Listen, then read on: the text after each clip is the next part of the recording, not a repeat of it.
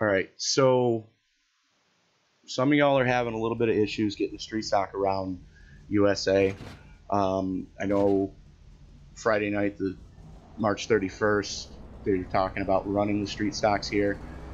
I do my restarts in third gear just so you guys know, because you know first and second are just going to wind out way too quick. So we're coming down the back straightaway, and what I'm doing is I'm using that cutout that's in the back wall as my marker to start my turn. Now if you notice I threw it in there but I was still on the trigger. You want to get the car to start to rotate and then you brake and then you catch the slide and start to feed the power back in. Let's show that again. Coming in, there's the cutout. I throw the car in hard on the brakes, get the car to rotate, catch the slide, and start to feed the power back in.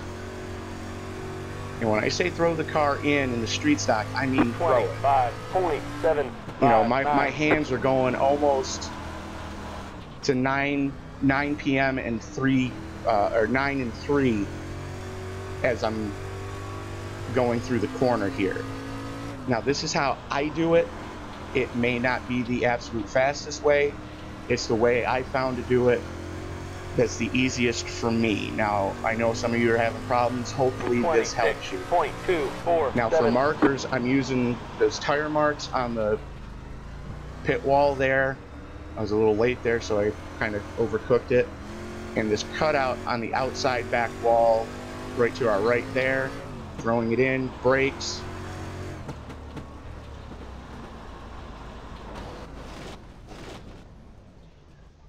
So let me do a couple laps without talking. Just just watch the bottom left. You see the the throttle, brake inputs, and steering wheel inputs.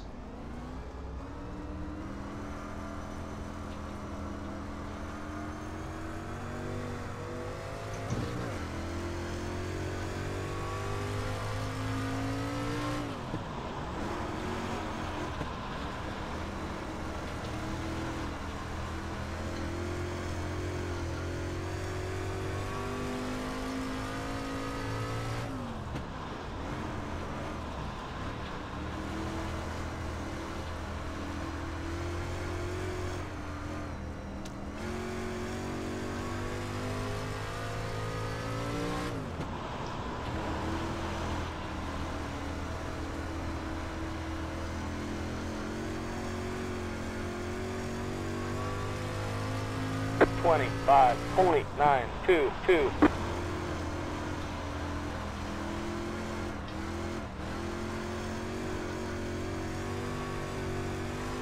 Again, this is not going to be the absolute fastest. I'm sure there's guys that can do this a lot better than I can.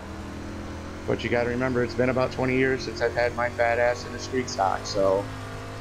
And this is basically how I used to do it at Bolton.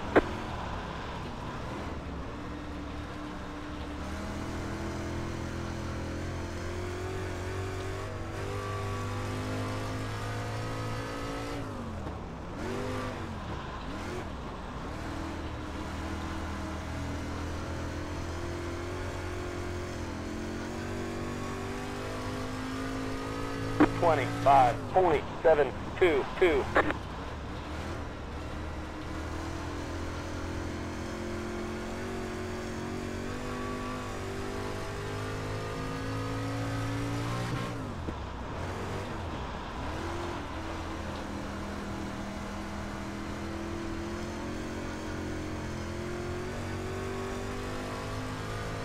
Twenty-five point seven one seven.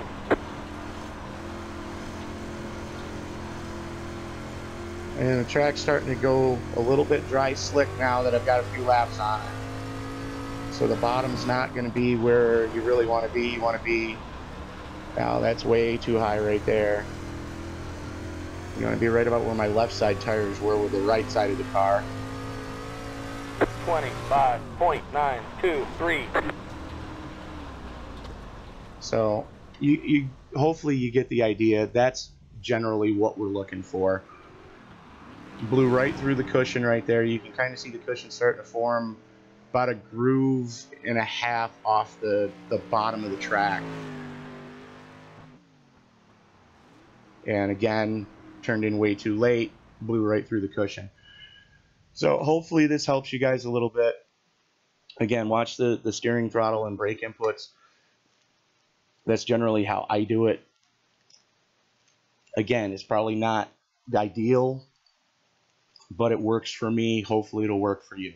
All right, bye.